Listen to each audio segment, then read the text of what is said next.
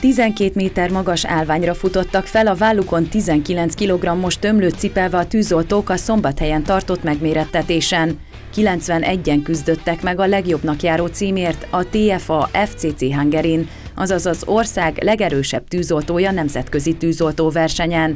A küzdelemre Horvátországból, Lengyelországból, Szlovákiából és Ausztriából is érkeztek vetétársak, de a Moson Magyaróvári Karsai Zoltán bizonyult a legerősebbnek. A feladatok nem voltak egyszerűek, hiszen ez egy olyan erőnléti verseny, ahol tűzoltóbevetési védőruhában kellett végrehajtani a különböző feladatokat a lánglovagoknak. Fontos volt a gyorsaság, az erő, a kitartás és az állóképesség is. A teljes menetfelszerelésben meg kellett fognunk egy tömlőt, avval felfutnunk a harmadik emeletre, miután felértünk az a tömlőt elhelyezni egy ládába, ami arra a célra szolgál, akkor utána fel kell húzni két tekercsöm tömlőt egy 16 mm-es kötéllel, utána lefutni ezen a pódiumon, amin felfutottunk, utána egy 5 kilós kalapácsokkal egy acélrudat végigverni egy sinen, utána van egy szalompálya, még mindig teljes bevetési felszerelésben, légzésvédelemben, a szalompálya után egy nyomás alatt lévő két darab C-tömlőből álló vezetéket kihúzni, egy sugárcsővel a végén, egy csapóajtón átmenni, ott kilőni egy célt, és utána egy 80 kilós